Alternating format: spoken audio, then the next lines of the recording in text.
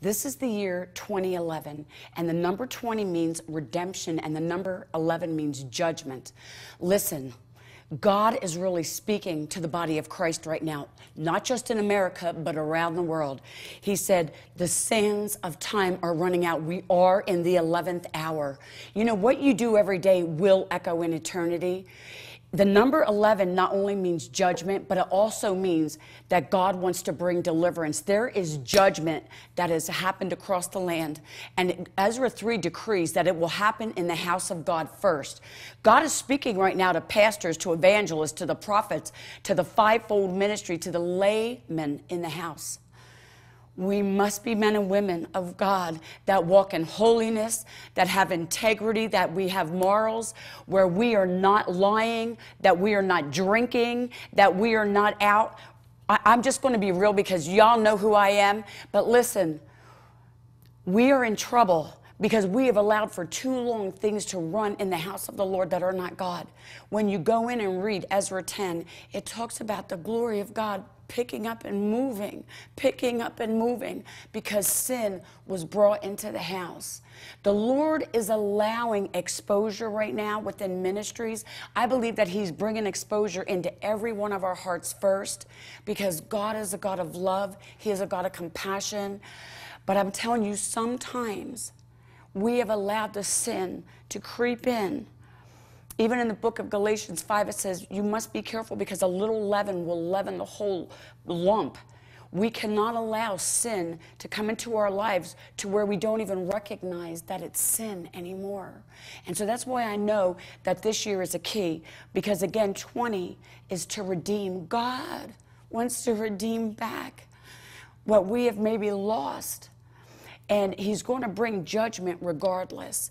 And so I just want to take a minute right now and I just want to pray. But Father, right now I pray in the name of Jesus that you will start to move on the hearts of your sons and your daughters, and that you will remind them that you are almighty and that you see the things that we are doing. And Father, I know in so many of our hearts that we do not want to grieve you, Lord. And I ask right now, Father, that your mercy and your grace would start to touch the men and women that are priests within your house and that we would start to look within ourselves and say, Lord, this isn't right, this isn't right, this isn't right. And I know that I need to be held accountable. I know that I need to get my life right. And so we just want to pray right now, Father, that you will just start to move by your Holy Spirit. I tell you, I know right now that hearts are starting to be touched because you don't know how to get out of some of the things that you've fallen into. You know, it's really sad because alcoholism is really strong in the church. I know people say, well, you know, you drink, you shouldn't drink, you should drink moderately. But I'll tell you what, when you are in the house of the Lord, you have a responsibility. I really believe we're coming into these times again. And I think about Eli. And um, it's really, I, I feel like it's a mirror reflection right now in the spirit because Eli had become so big and he had become so blinded because he allowed the blindness to come in. He allowed his sons to let anything come into the, God's temple, including the women, anything, the debauchery, the, the whoredoms, you know. And, um, and God is saying, right now, judgment has hit the land. And we have a time that He is allowing us to get our hearts right. For some of you that are dealing in pornography, you need to go get help. You need to not allow the Asherah pole to come into your house and it cause so much devastation to your marriages, your children, your families, your ministries, your, your people.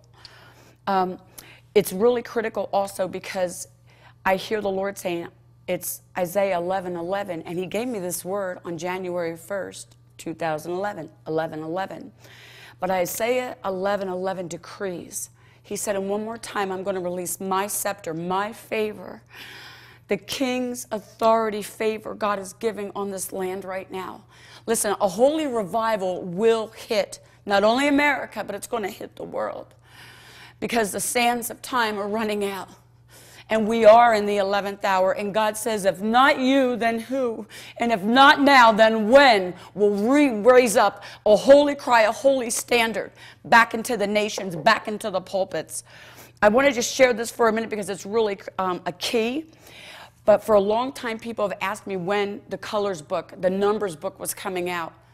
God is a God of precepts and He is a God of time. Even though the mediums and the astrologers think that they have this, they don't. Because God created time. He created the days, He created the numbers, and He created us. And He has great destiny in store for each one of us. And I just want to encourage you today that you would just get back to the simplicity of who Jesus Christ is. You know, so many times, because um, I, I travel all over the world and I'm really blessed because I'm just a donkey that Jesus rides in on. But so many times I've seen so much and I, I grieve because I know the Father's heart is grieving for his sons and daughters. And whew, I feel this wind even right now. I, I keep hearing it. It's like Rachel, she weeps for her children because they are no more. God is weeping for his sons and daughters. He needs us to get back at the altar. He needs us to get on our face, to fast and pray and cry out. Because God, even in his judgment, is a God that will bring correction through it. I remember being a child when I got in trouble.